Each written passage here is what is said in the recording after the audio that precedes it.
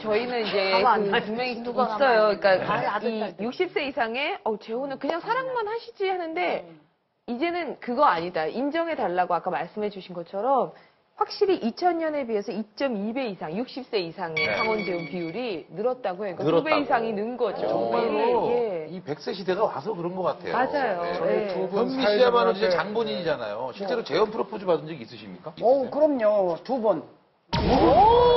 왜냐면 이제 처음에 75년도에 이제 나왔을 때 어, 76년도에 옛날에 그 잘 알던 분이 내가 이제 이 선생님한테 이제 뛰어나와서 혼자 된 걸 알고 정식으로 우리 집에 와서 청혼을 해서 정식으로 오케이를 했는데 너무 사람이 나보다 세 살 외예요. 날짜를 다 잡았었어요. 근데 이제 알고 봤더니 별거 5년인데 호적 정리가 안 돼 있더라고요. 그래서 나는 돼. 이봉수 선생님한테 한번 속은 걸로 만족하니까 네, 그치. 결혼 바쁠 거 없다.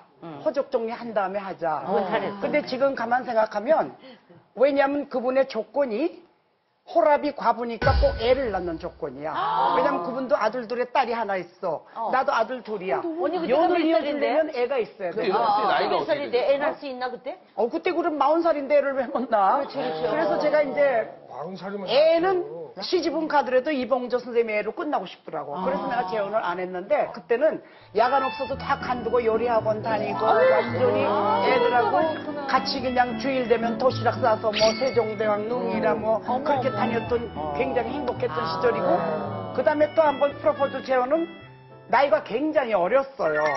근데 그분은 조건이 뭐냐면 결혼을 하면 노래를 관둬야 돼.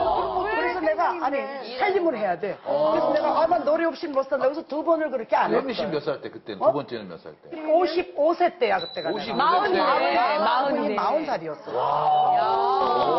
근데 이제 지금 나이가 70대 중반이 되고 나니까 약간 허무함을 느껴. 그렇죠. 나도 이렇게 행복하게 기댈 수 있는 남자가 있었을 때 이제 뭐 사랑은 이제 하니까 왜 내가 이 사랑이야? 사랑이라는 게 인간의 엔돌핀이에요. 친구를 만남으로써 엔돌핀이 한참 가요. 생활하는데도 신이 나고 기다림이 있고 또 갚고 그 노력이 있고 그래서 사랑을 하고 있는 거예요.